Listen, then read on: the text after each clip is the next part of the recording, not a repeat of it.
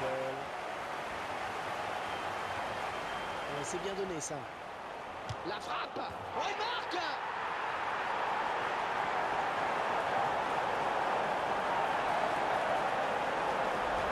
On peut admirer une fois de plus euh, tout le sang-froid la lucidité de ce joueur dans le dernier geste. Eh ben, c'est parfait. Il n'y a rien à dire.